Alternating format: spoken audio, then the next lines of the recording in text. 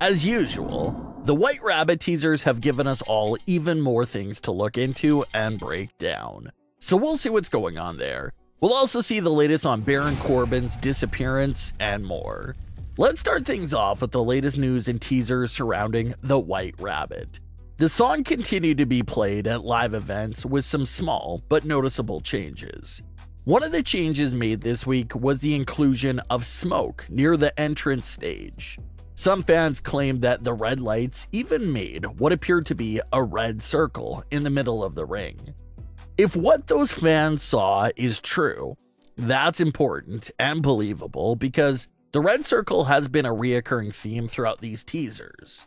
The red circle is even inside the white rabbit's eyes, so that's just a symbol that's always there.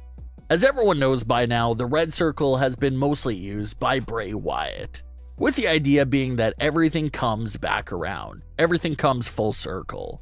A story ends where it first began at. Everything just comes fully back around. And it's pretty insane just how true that is, especially for Bray. He started in WWE, was released. He talked about how sad and upset he was, and now potentially everything is coming back full circle and he could return to WWE after all. So Bray's actual pro wrestling career fits perfectly into the Red Circle theme. But let's get into the new teasers from Raw. The QR code teaser this week leads you to a few private TikTok videos that have been posted by the individual behind the White Rabbit. The video is a mashup compilation of WWE superstars saying some of the things the White Rabbit has been saying over the last few weeks. When put together, the clips all said, Who killed the world? You did. Feed your head. That first question popped up in the very first Raw teaser, and the phrase, feed your head, appears in the actual White Rabbit song itself, but also appears to be a little catchphrase of the White Rabbit now as well. The zip code posted in one of those TikTok videos leads you to an area that showcases a massive rabbit that's outside at what appears to be on a farm of some sorts. On the surface, that appears to be it for the teasers, but fans continued to dig into it. Fans looked up some coding behind this week's Raw teasers and even found some messages hidden inside the video URL, and they found even more interesting things. The zip code takes you to Corbin, Kentucky. The only real piece of history there was that The Fiend faced off against The Miz at that location. Fans also dug up some history that Bray Wyatt's last match before becoming The Fiend was against Baron Corbin as well. The coding of the teaser also revealed some lines from Aleister Black's old WWE theme song.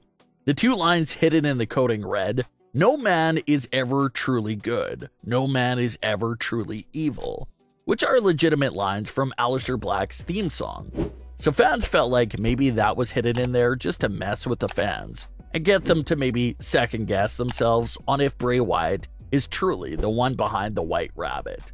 So putting the Aleister Black lines in there made fans sit back with their hands on their chins for a moment, but Aleister Black shot that theory and idea right back down to the ground immediately. Aleister Black took to Instagram to deny those rumors and theories and revealed that he hasn't even been granted his full release from AEW. So the idea of Aleister Black being involved gets completely wiped off the surface. Maybe that's what WWE was going for. Maybe they wanted the list of suspects behind the White Rabbit mystery to grow a bit longer than just Bray Wyatt. They probably didn't want it to be so obvious, but Aleister Black shut that down fast. So it was a good idea, but Bray Wyatt is right back on the top as the only real suspect behind the mystery. And the teasers and hints didn't stop there. The teasers now went over to the official White Rabbit YouTube channel, this is the official channel that has the original music video for White Rabbit. They only had one video posted, and it was the White Rabbit video that was uploaded over 15 years ago. No other video posted in the history of the channel after that. Until after the September 26 edition of Raw.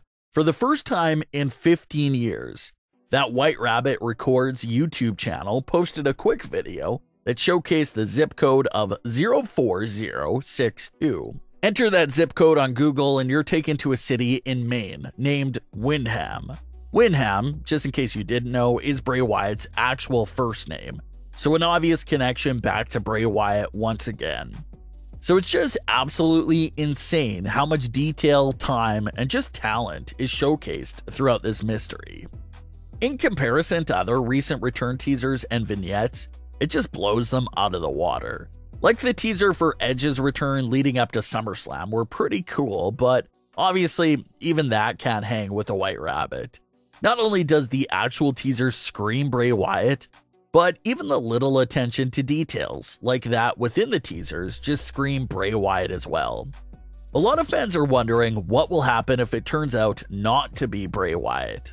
Well, in that case, no matter who would be behind the reveal, it's gonna be a massive disappointment, especially after having so much signs that point to Bray Wyatt. Only for it to be revealed to be someone else would be extremely devastating. But hopefully that's an outcome we don't have to deal with, and hopefully it is Bray Wyatt after all.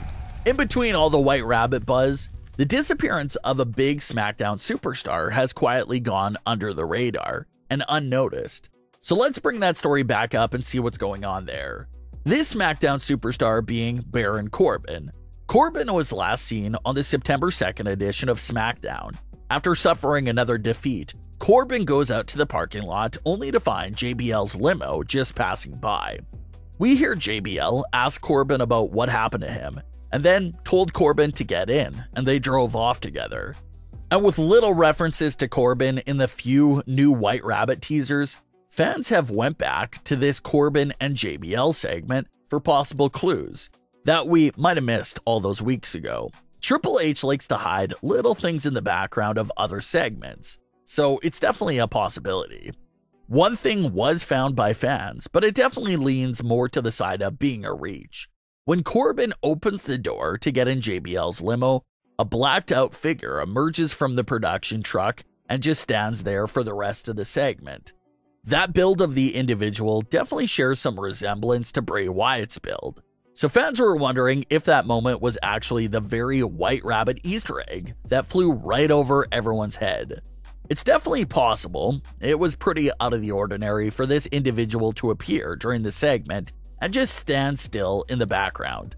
But again, it's probably just fans reaching a bit too far.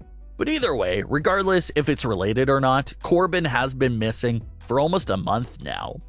The appearance of JBL's voice in Limo definitely makes it seem like JBL could be returning to television to manage a repackaged new version of Baron Corbin. He went through the broke stage, he went through the happy Corbin stage.